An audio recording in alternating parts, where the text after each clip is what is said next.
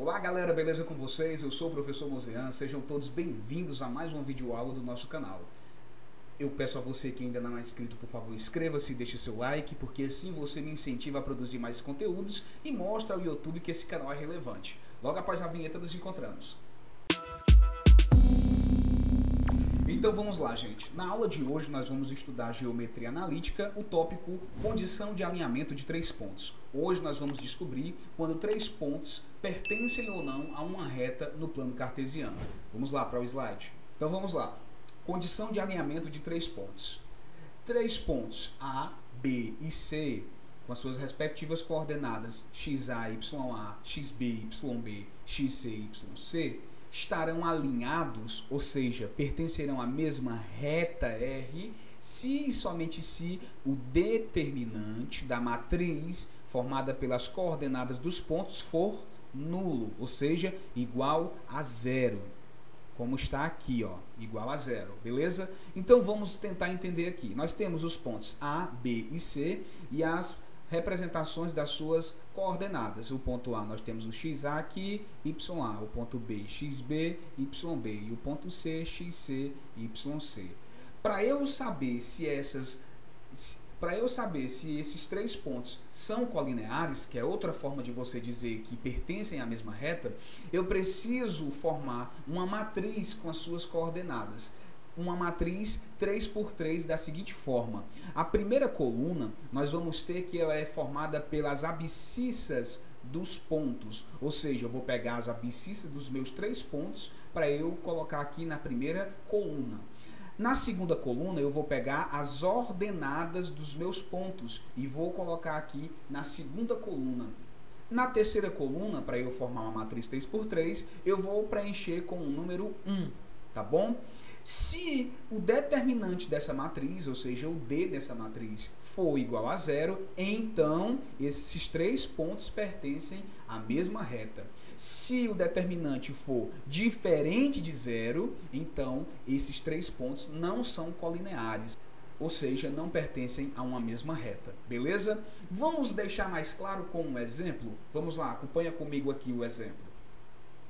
Dados os pontos A, 3 e 1, B, 0 e 3, C, menos 3 e 5, verifique se pertencem à mesma reta. Então nós vamos descobrir se esses três pontos são ou não colineares. O que é que eu tenho que fazer, professor? Primeiro, vamos. Então eu coloquei aqui a nossa matriz modelo.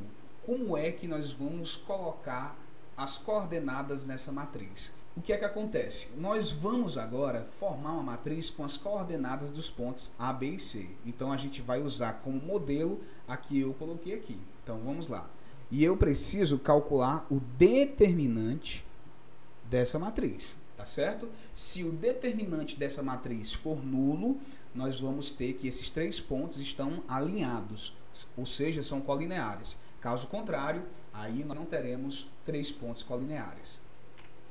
Então, baseado aí no nosso modelo, o que é que nós vamos fazer? Vamos montar aí a nossa matriz. D é igual, aí vamos colocar XA quem é o XA? É a abscissa do ponto A. Então, XA, 3. Quem é o XB? A abscissa do ponto B, 0. Quem é o XC? Menos 3, a abscissa do ponto C. Muito bem. Agora nós vamos pegar aqui a, a orde, as ordenadas dos pontos. Quem é a ordenada do ponto A? 1. Quem é a ordenada do ponto B? 3. Quem é a ordenada do ponto C? 5. E a última coluna, o que é que nós vamos fazer? Preencher com 1. Então vamos lá como é que a gente calcula o determinante de uma matriz 3 por 3. Existem várias formas de você calcular, tá certo? Eu vou fazer aqui uma das mais tradicionais, que é você fazer o quê? Você repete as duas primeiras colunas, 3, 0 e menos 3, e 1, 3 e 5. Então nós repetimos as duas primeiras colunas e agora como é que nós vamos fazer? Nós pegamos a diagonal, os números da diagonal principal e multiplicamos, tá certo? Então vamos lá, na primeira diagonal nós temos que o resultado vai ser quanto? Ó? 3 vezes 3, 9, vezes 1, 9. Então aqui dá 9. Aí nós vamos pegar agora a próxima diagonal principal e multiplicar uma, cada um dos seus elementos. 1 vezes 1 dá 1, vezes menos 3, menos 3. E nós vamos pegar a última diagonal, 1 vezes 0, 0 vezes 0, 0. O que é que nós fazemos com isso aqui? Nós vamos somar todos esses números, tá? 9 mais menos 3, ou seja, 9 menos 3, 6. 6 mais 0, 6. Então, esse resultado aqui, ó, dá 6. A soma desse resultado dá 6. Agora nós vamos fazer a soma das diagonais secundárias. Nós vamos pegar o produto delas, então vamos pegar aqui, ó, esse, depois esses multiplicados e depois esses multiplicados. Então nós vamos ter o seguinte, ó, 1 vezes 3, 3 vezes menos 3, menos 9. Então a primeira nós temos aqui que vale menos 9. Agora nós vamos pegar aqui a segunda diagonal secundária. 3 vezes 1, 3 vezes 5, 15. E agora, 1 vezes 0, 0 vezes 1, 0. E nós vamos ver que o resultado dessa soma aqui vai ser quanto? Menos 9 mais 15 dá mais 6. 6 mais 0 dá 6.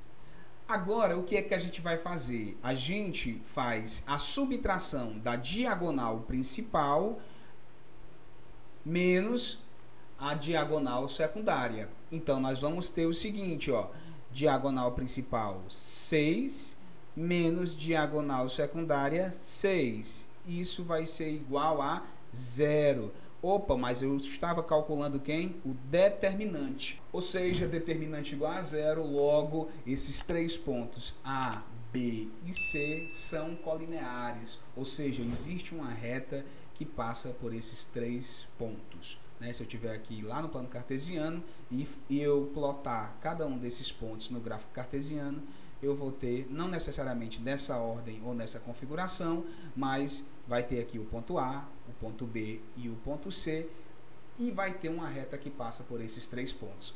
Ou seja, eles são colineares, beleza?